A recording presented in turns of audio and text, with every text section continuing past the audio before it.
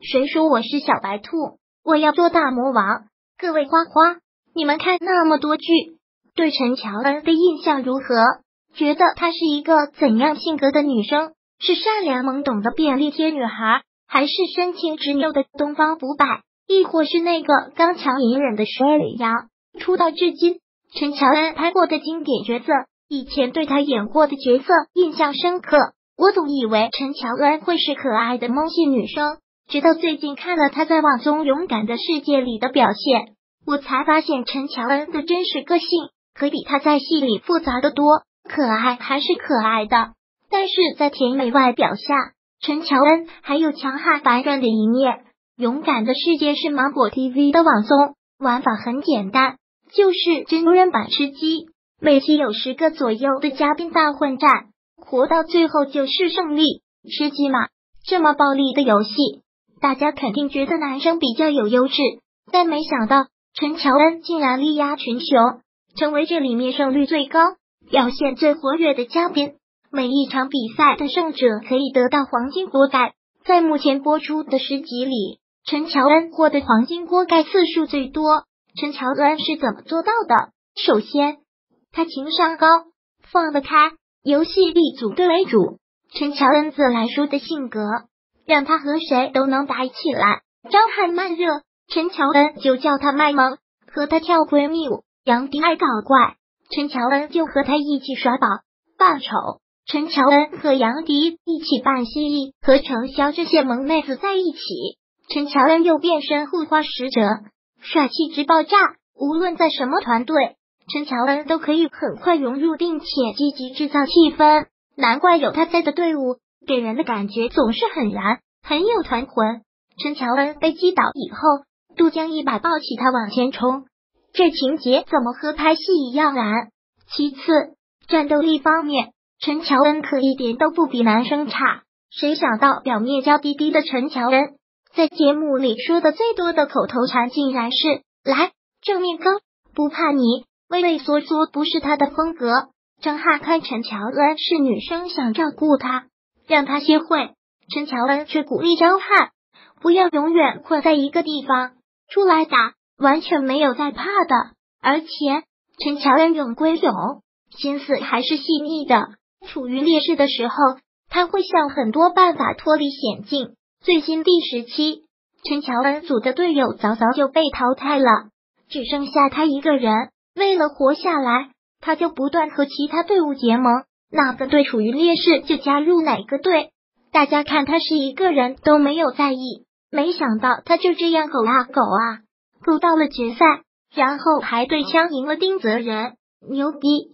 至于陈乔恩在节目里最经典的战役，就是第二期的男女大战。男生和女生分成两个组，每个组五人，但因为体力以及熟练度的差别，女生组大部分人都出局了。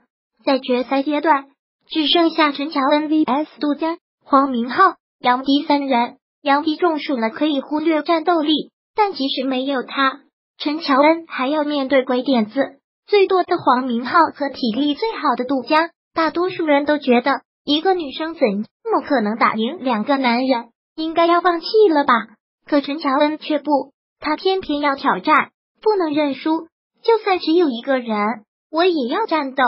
能出局一个是一个，继续战斗的陈乔恩一点都没有慌。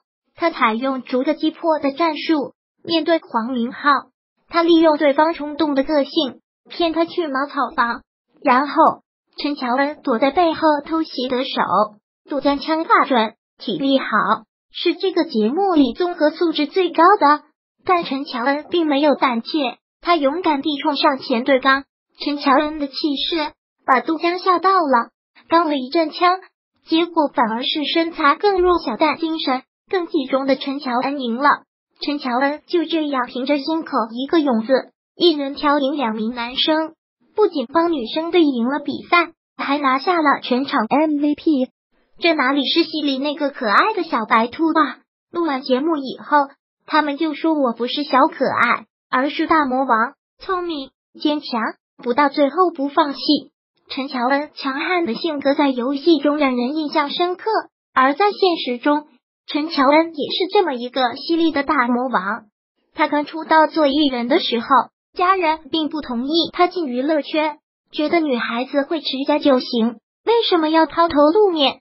可是陈乔恩却不想按家人安排而活，他有梦想，他想做演员，于是他一个人到台北打工，找机会演戏。一开始，陈乔恩是从主持做起的。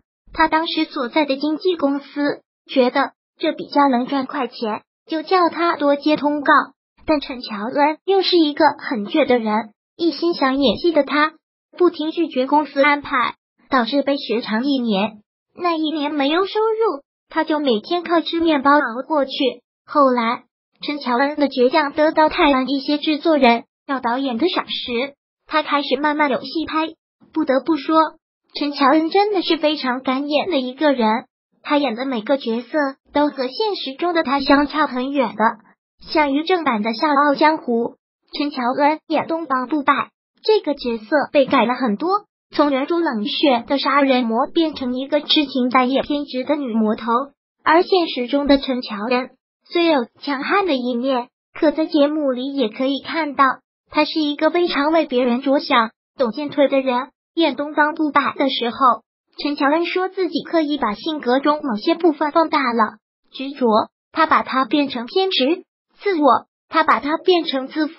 本来他以为一定会被骂的，可惜播出后，很多人却对这个非传统教主产生了共情。微博上还有热搜叫“有一种爱叫东方不败”，那一刻就觉得幸好当初还是坚持演了这个角色。接着。陈乔恩演《我是女王》也是，她在电影里的角色是小三，是一个非常不讨好的角色，而且角色失恋后追着老公跑，哭得梨花带雨的情感处理方式，实在和聪明理智在节目里应该不流泪的陈乔恩很不一样。这电影陈乔恩好几幕都哭到接近素颜，但是陈乔恩又想试一些偏激的角色，就把自己最极致的情绪放到电影里。尽管这部电影和他其他作品比起来，水花是小了一点，可陈乔恩却觉得无所谓。当演员，你所能控制的就只有你在镜头上必须维持一个比较好的状态，和你这场戏投入了多少。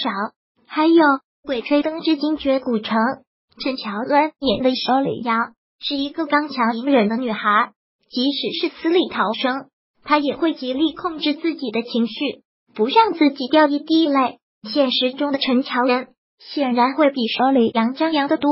他在节目中大大咧咧、直来直去，还经常和张翰、杨迪互怼。佘雷杨的内敛，全是陈乔恩花心思去塑造的。认真听孔生导演讲戏的陈乔恩，也许这种戏里戏外的反差，就是演员这个职业的魅力。陈乔恩说过一句很经典的话：“当你穿上戏服的那一刻。”你就仿佛要把灵魂穿上去了，尽管戏里的角色和生活中相差那么远，甚至还会有夸张的部分，但演员就是要竭尽全力把角色演的真实可信，哪怕有那么多的缺点，也要让观众喜欢这个人，爱上他不完美的部分，这才是一个合格演员的塑造力啊！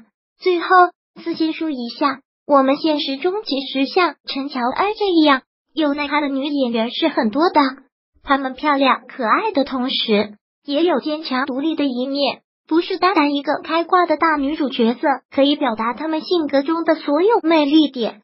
所以，真心希望以后我们戏里的角色，尤其是女性角色，也可以像现实中的这些明星一样丰富丰满。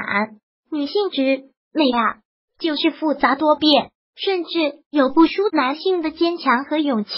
才能展现它真正的吸引力。E N Z E D I T O R。本文作者花痴女王，各位亲爱的花花，最近公众号又改版了。如果想第一时间看到女王的推送，记得按下面方法把我们公众号设为新标置顶。